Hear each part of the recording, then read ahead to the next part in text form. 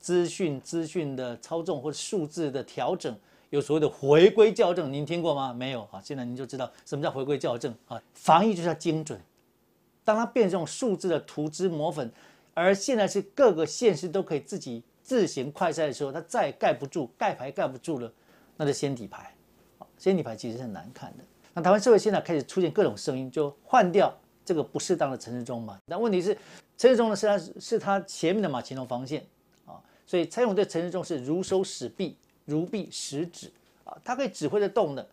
那如果换掉他，马上蔡英文就要面对第一线民众民意的挑战。民党党内内部其实啊，各方势力、各方诸侯跃跃欲试，要挑战蔡英文啊，要弱化他，当然知道。所以。防疫当前，蔡英文并没有把这个防疫当做最重要，反而是把政治计算放在最前端，这令人遗憾的。对台湾民众来说，救命最重要的事情就是拿到疫苗，有疫苗才能救命啊！只是蔡英文呢，基于他的权力保卫战，很多人说是面子，其绝对不是面子，而是他觉得陈世忠是他前面的马前龙防线，撤掉他所有的攻击的势力、攻击的力量，会直接到蔡英文身上来。他担心的是政治计算的问题。